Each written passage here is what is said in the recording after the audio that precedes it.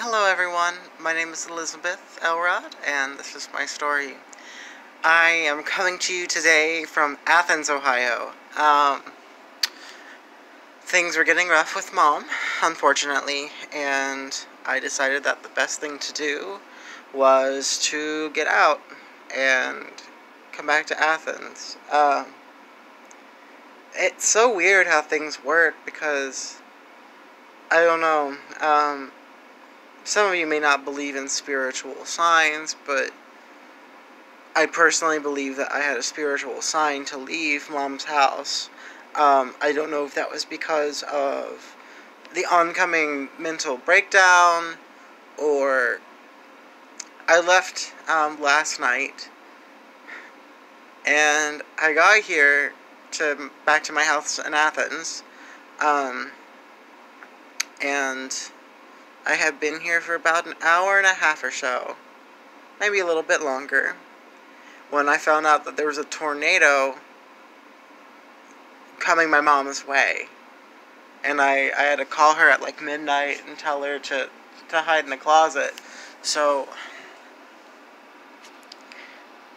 you know, I don't believe in a higher power such as, like, I, I wouldn't per se call it the Christian God but I do believe in a higher power. Um, I, I, I, I kind of take the, the beliefs of um, the natives when they talk about the Great Spirit and how this, this spirit encompasses everything. So, whatever was looking out for me last night was really looking out for me. And I'm grateful. But, um, enough about that. Um, it's very early morning. I'm about to have online class in a couple of minutes. And I thought, hey, I think now would be a good time to film my video for the week. So I'm here with you, bedhead and everything. I've got my morning coffee. Uh, my mug says, I've got 99 problems, and white heteronormativity patriarchy, heteronormative patriarchy is basically all of them. And, yeah. You can joke about how much of a liberal I am, but I'm I'm really not. I'm more of a progressive, and you can joke about that too, and you can joke about how I'm a Bernie bro, even though I'm a girl, but whatever. You know, I've been joked about with you know far more hurtful things from my own family, so I'll be fine. So today, um, I wanted to talk about my father because he's been coming in my mind a lot. Um, and I I just felt like I wanted to talk about him this morning. So dad um dad was such a kind and gentle man. Dad grew up um, in the Portsmouth area. He he lived there most of his whole life. Um, he joined the Air Force when I believe he was in his 20s. And he dedicated, I believe, over 40 years of service. Not 40. No, that's a lie. About 20 years of service. It's early morning, give me a break. Um, he dedicated over 20 years of service to the Air Force. So, I wasn't a military brat, but I was a military brat, if that makes sense. Because dad wasn't around a lot, um, because dad was a member of the Air Force Reserves. Um, he was a senior master sergeant, um, which is, as I've come to believe, and as what people tell me, um, is a very high rank for someone in the Air Force.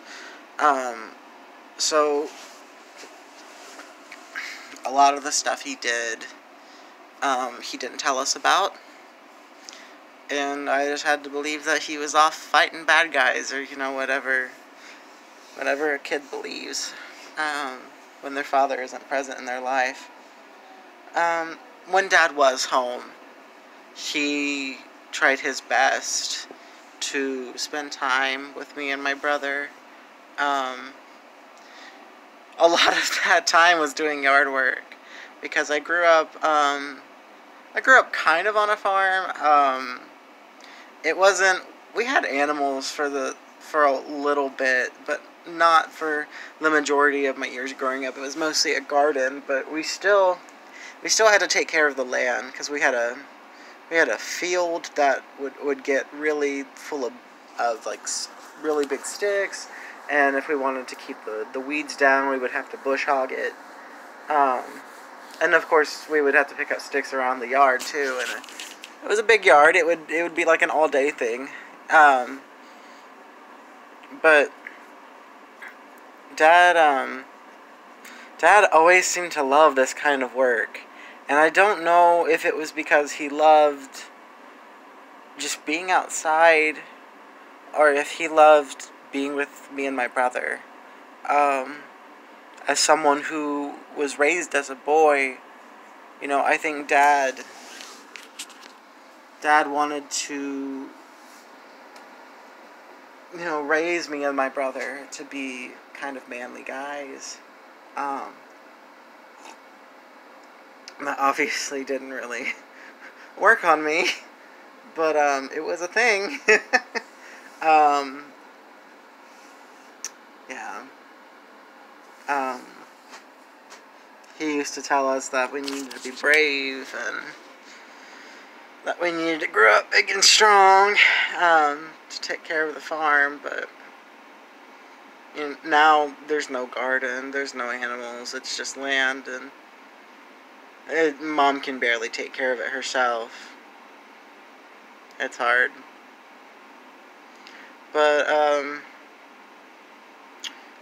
going back to dad, he was like mom, where he tried to give us experiences that we didn't have. Um, Dad was actually probably one of my biggest supporters when it came to music school. He he loved music so much. We um when dad was diagnosed with cancer, we would listen to music um, on the way to his cancer appointments, his radiation appointments up in Columbus. Um, it would be about a two hour drive from Portsmouth, well, our house, which isn't technically in Portsmouth, but Portsmouth to Columbus. Um, and we would just jam out to classic rock. We would share each other's music, and even though Dad wasn't the best proponent of me being queer, that was one thing that we could really, really click on, you know, was our music. My senior year of high school, um, I played Valjean in uh, our high school's production of Les Miserables, and I got Dad to love that music.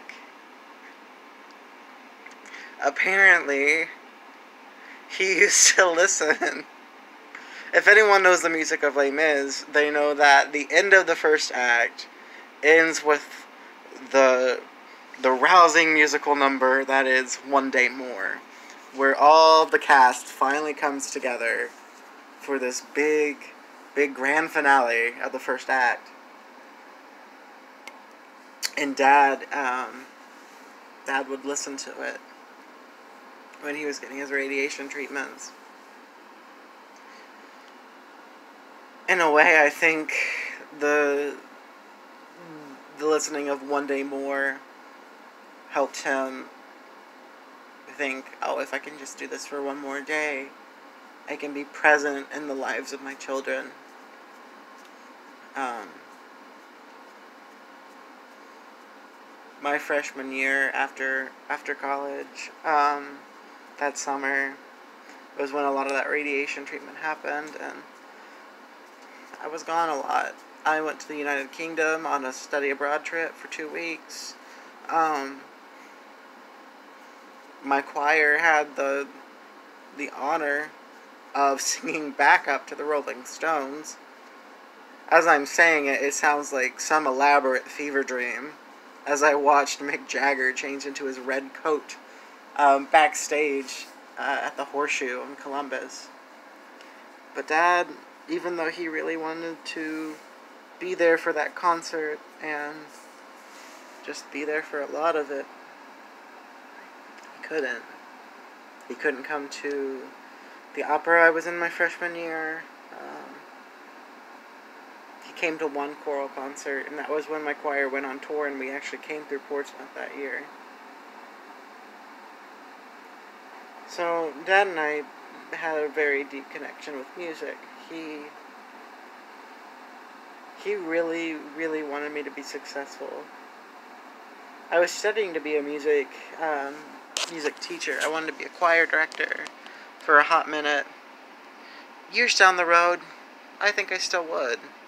Um, but as of right now, I'm studying to be a music therapist because I want to help recovering addicts um, in Appalachia.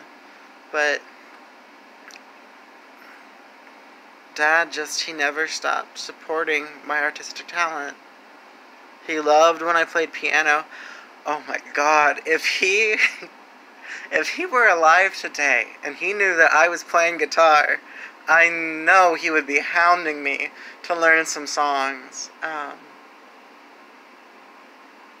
one of the last albums we listened to before he died was um, the Eagles live on vinyl. And now I can't listen to the Eagles without crying and thinking about them. Um,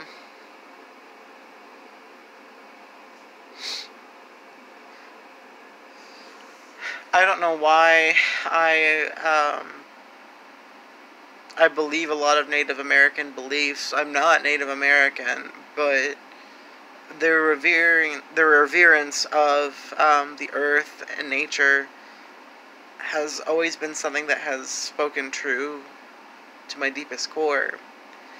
And for those of you who may know me well, they know that I love crows and ravens. Um, for those of you who don't know, the Native Americans um, believed that crows and ravens were messengers of the afterlife. And in my toughest moments, I would see them and immediately think of Dad. At his funeral, my um, high school choir came and we sang um, a setting of the poem, Do Not Stand at My Grave and weep. I am not there. I do not sleep. Um, if if you don't know it, please look it up. But if you want to listen to the arrangement, it's by Eleanor Daley, and the name of the arrangement is actually called In Remembrance. But that's that that piece is about don't go to my grave and cry because I'm not really there. I live with you in nature. I am the gentle breeze that blows. I am the sunlight on snow. I am the circling bird. And I've always believed that when a crow comes to visit me, it's dad he visited me um, when I came to mom's house. And when I woke up this morning and went outside, I heard another crow. And, you know, I think about him all the time. I have a, I actually have a crow tattooed on my back. Um, just to let me know, just to not let me know, but you know, remind me that even in death, Dad always has my back. Sorry to get all sappy on y'all this morning. he was just on my mind, and I felt like I needed to talk about him.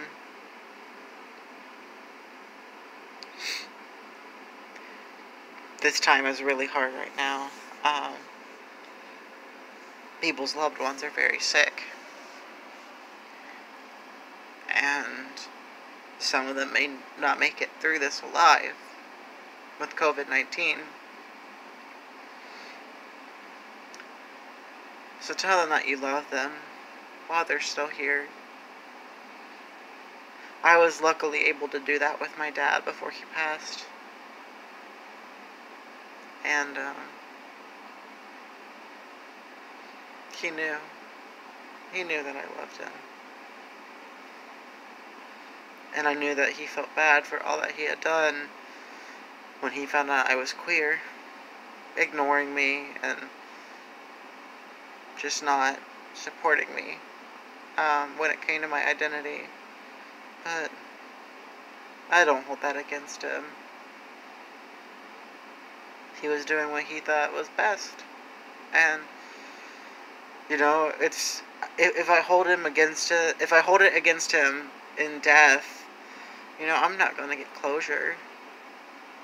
You know, it's not like I can go to him and talk to him about it. I mean, I can, and I have. And I've, you know, I've received inner peace about it. I miss him, but. And we all miss him. Everyone who knew him. I think he knows that I'm happier now since I've transitioned. This morning, my heart goes out to any of you who have ever lost a parent, especially at a young age. I lost my dad when I was 19. The the shock that comes from losing a parent or it doesn't even have to be from death I mean, I, I know people whose parents have disowned them. I know people whose parents treat them horribly. And that's just as bad because you grieve over not having someone you loved. Who, or not having someone who should have loved you and supported you in all of your endeavors. Who should have supported you for who you are. Um, I just want to end my talk this morning reminding all of you that you're not alone. Um, you're, you're not going through these things alone. That I'm here. And if you still want to talk to me, I'm more than willing to. Just shoot me a message here on Facebook. On Facebook. YouTube. Find me on Facebook, Elizabeth Rose. But either way, I'll probably respond to a YouTube message quicker. I don't always, um... I receive a lot of messages from strangers on Facebook. A lot of, um... A lot of men writing me love sonnets. So, a lot of women too. um, anyway, I'm rambling at this point, but I want you all to have a great day. Remember that you're not alone, and I'm sure that there's someone out there looking out for each and every one of you, just like I feel like my dad has my back. So. Have a great day. Enjoy your coffee. And I'll see y'all next week. Take care.